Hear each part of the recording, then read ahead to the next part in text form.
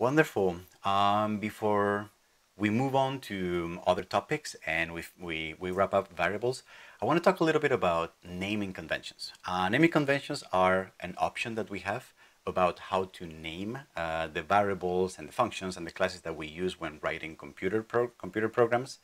And uh, they are conventions because they are something, they're not mandatory, they are just something that is encouraged to maintain consistent between all the people who write the same programming language just because if you get used to a particular way of writing and naming your variables, then it will be much easier. If we all agree to that same way, then it will be much easier for all of us to read each other's code, right? So what happens is that in C Sharp, there are very clear conventions about how to write variables, functions, and class names. And also there are good practices and good recommendations about what names to give it and the length, etc. Uh, the way it works in C Sharp, and this is very C Sharp specific, other languages work in a different way, is that uh, variable names are typically written in this thing called camel case. And camel case means that if that the first letter of the first word is always going to be lowercase, and then if you have to stitch more words to that variable name, then the first letter of each one of those words becomes capitalized. So think about camel case as like this is this is the hump of the camel, right? Right here. So for example, my name starts lowercase, but then the N in name is capitalized, right?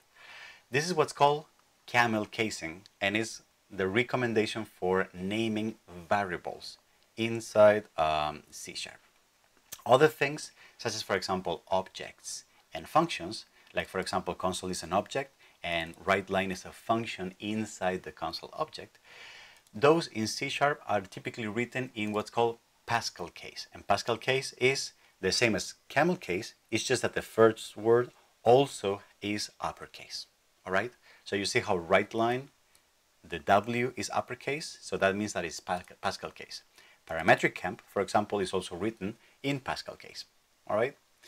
Um, and then there are some good rules of thumbs and good um, practices about which names to choose for your variables. For example, uh, if I wanted to create a variable to store the temperature of a room, uh, depending, there are, this is a bit more flexible and it depends on the scope of your variable, whether if you're just going to use it once and never use it again, or if it's a variable that is very important in your whole program, there are certain guidelines you will get used to to how this works over time. But for example, in this program, perhaps T as a way of representing temperature, it's probably too short. Uh, you don't want names that are either too short, that are too ambiguous, or that are too explicit or too long, right?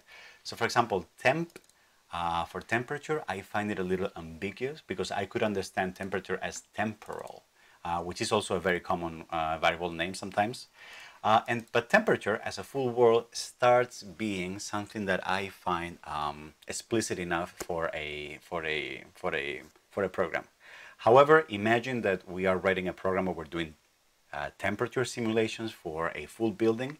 Then maybe temperature enough is not enough because it's too ambiguous. We may want to be a bit more explicit and say this is room temperature, um, and write room temp because it's a little shorter but it's, I still understand this as temperature, not room temporal maybe.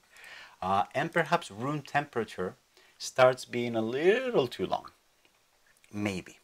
But um, with these guidelines, there's a lot of flexibility and actually I tend to favor myself very long and very explicit names sometimes, especially for functions. Um, and uh, I get a little confused with very short cryptic variable names because then when I leave the program and then pick it up two months later, I literally do not remember at all uh, what those variables refer to. So I like being a little more on the explicit side, but that's um, that's for up to you to to decide as a programmer. All right. Uh, all right. Let's move on to other fun stuff.